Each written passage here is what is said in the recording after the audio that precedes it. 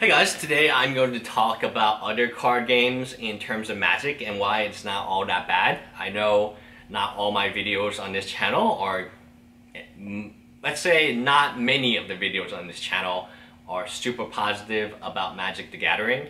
Uh, mainly because one of the main, I'm concerned about uh, just how much how much stuff is coming out. And that sounds very strange because you might say more stuff the better.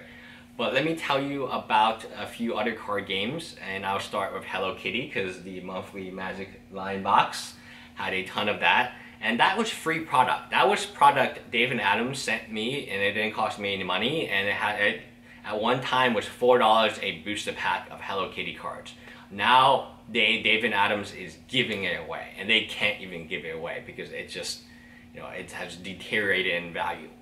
Uh, and the reason I'm going to talk about these various other card games, including Card Cardfight Vanguard, as well as the only one that has kind of held the test of time, is Pokemon. But Card Cardfight Vanguard and Inuyasha is because their card games have just obliterated.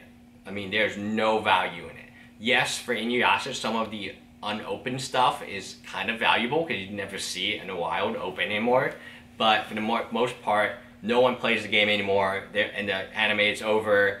Uh, no one, there's no reason to buy the card, so the card has tanked from the 4.99, 3.99 booster pack, all the way down to like 15 cents at one time, where you could buy a booster pack or for like 15 or 20 cents, and that has never happened to Magic. For the most part, the worst set I've seen is Dragon Maze, and Dragon Maze went from $40 a fat pack to $20 a fat pack, and still around 20 25 a fat pack.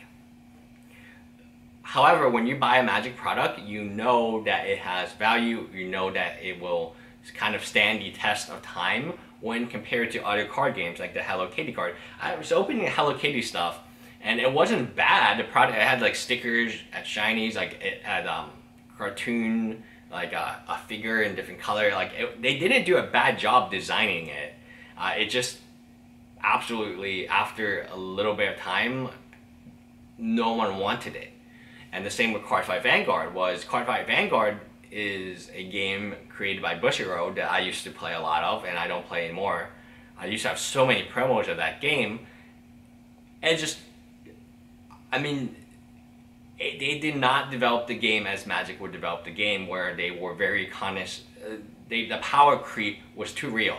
So after the eighth set, the set in set number one, the alpha if you will, it was unplayable. They, the cards were unplayable because set 8 was so much better than set 1 because they needed to sell set 8.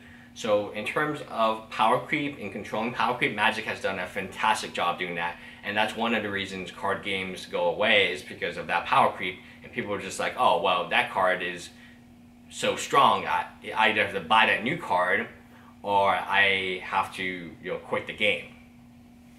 And Magic has done a good job stabilizing that in the standard environment, so I compliment them on that. Uh, the other one reason is that there's too much product, and that's what I wanted to talk about.